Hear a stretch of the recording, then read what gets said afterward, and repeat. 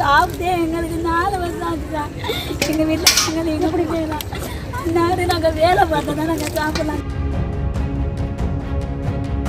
ஊரை விட்டு வெளியே போயிடலன்னா இடத்த விடு இடத்த விடுங்கிறாங்க. எங்களுக்கு ஃபுல்லாக எல்லாமே பத்தலை பதிஞ்சது எல்லாமே ஆசு காப்பி போஸ்டில் ஜெயிச்சு ஆடு காப்பி வரையும் இருக்குதான் எங்களுக்கு இருந்த போத இடம் இல்லை.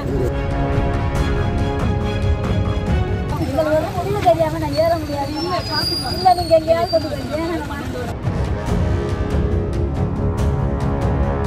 மாவட்ட ஆட்சியர் அலுவலகத்தில் பெண் ஒருவர் விபரீத முடிவெடுக்க முயற்சி செய்தது பலரையுமே அதிர்ச்சிக்குள்ளாக்கியிருக்கு.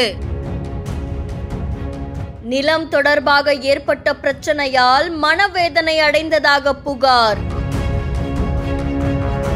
விரைந்து செயல்பட்ட போலீசாரால் காப்பாற்றப்பட்ட ஒரு உயிர்.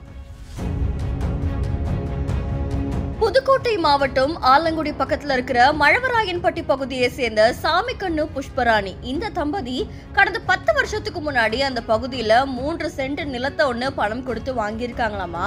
இந்த இடத்துல கடந்த இரண்டாயிரத்தி இருபத்தி ஒன்னாம் ஆண்டு பிரதம மந்திரி வீடு கட்டும் திட்டத்தின் கீழே வீடு கட்டுறதுக்கும் அனுமதி வாங்கியிருக்காங்களாம் இந்த நிலையில தான் அதே பகுதியை சேர்ந்த ராமன் ரவி ஆசை தம்பி இவங்க மூணு பேரும் புஷ்பராணி வீடு கட்டுறதுக்கு எதிர்ப்பு தெரிவித்ததாக கூறப்படுது.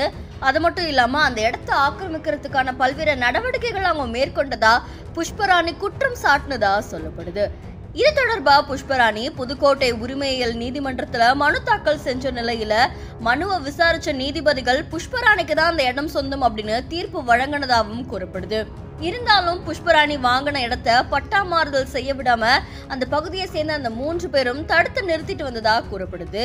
இதனால மன உளைச்சல் அடைந்த புஷ்பராணி தம் மகனோட மாவட்ட ஆட்சியர் அலுவலகத்துக்கு வந்திருக்காங்க. அப்போ திடீர்னு அங்க விபரீத முடிவெடுக்க முயற்சி செஞ்சிருக்காங்க. இதை பார்த்த பொதுமக்களும் அதிகாரிகளும் ரொம்பவே அதிர்ச்சி அடைஞ்சிருக்காங்க. இதை தொடர்ந்து உடனே அவங்கள தடுத்து நிறுத்தின போலீசார் புஷ்பராணி கிட்ட விசாரணை நடத்துறதுக்காக காவல் நிலையம் அழைச்சிட்டு போனதா கூறப்படுது. இதை பார்த்த சமூக ஆர்வலர்கள் பிரச்சனையை தீர்க்கறதுக்கான நடவடிக்கை எடுக்கணுமே தவிர இந்த மாதிரியான விபரீத முடிவு எடுக்கக்கூடாது. ஒருவேளை உங்களுக்கு அந்த மாதிரி தோணுச்சு அப்படின்னா உடனே தமிழ்நாடு மெடிக்கல் ஹெல்ப்லைன் நம்பரான நூத்தி நான்கு அழைங்க அப்படின்ற மாதிரி தெரிவிச்சிருக்காங்க.